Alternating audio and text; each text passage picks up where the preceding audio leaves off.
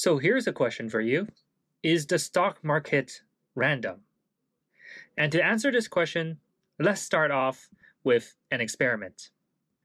So here you can see the chart for a stock. And I wouldn't tell you what stock it is yet, and I'll actually hide it for now. And you don't know what time period you're looking at for now. And here you will see different candlesticks. Now, if you don't know what a candlestick is, white candles means up and black candles means down. So, as of this moment, what do you think the next candle will be? So, you can take a minute to think about that. You got a guess? So, I'm going to reveal the next candle to you. It's down. Now, a lot of you might have guessed, hey, I got it right. Now, let's guess again. What do you think the next candle is? If you have been guessing down twice in a row, then that's great. What about the next candle? Up. So did you get it right this time? And let's do one more. Up. Did you get it right, or did you guess it's going to continue to go down? So that brings me to the topic of the day. Is the stock market random? And this reminded me of a book called Fooled by Randomness.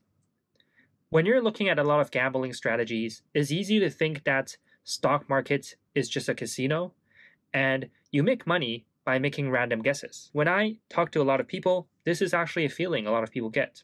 Just now, when you're going through the experiment, I didn't give you any additional information about what kind of stock that is, what time frame you're looking at, which date it is, what kind of financials the company has, so on and so forth.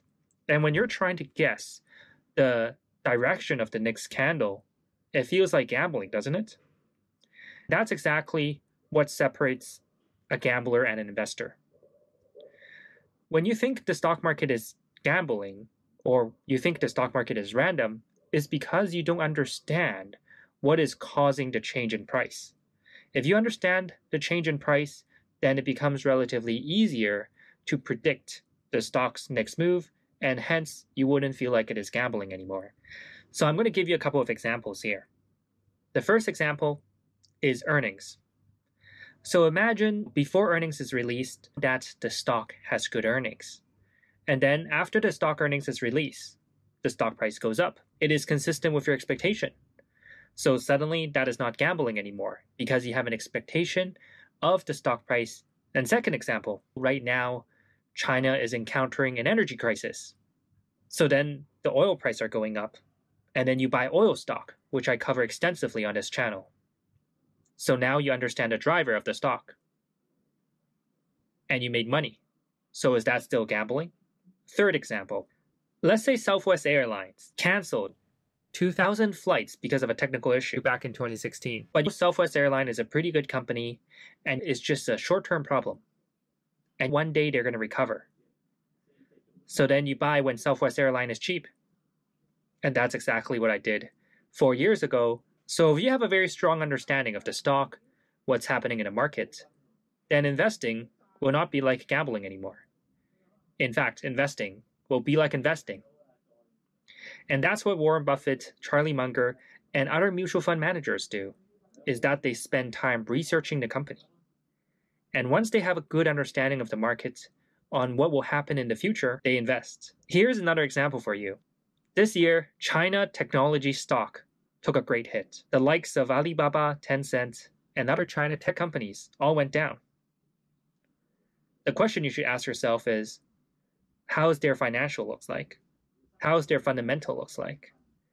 Is there any significant change to your business model? How severe is the impact? And as an investor, if you have a good answer to these questions, then I think it represents a very strong hypothesis on what you're about to do in the future. So, do you think the stock market is random? Let me know your thoughts in the comment below.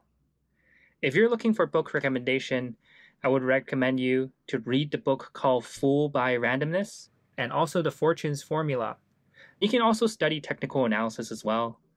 And if you're looking for some additional free resources, then I have a free webinar on how to get 30%, a free course on how to set up your charts correctly, a free technical analysis template that you can get in the description below as well.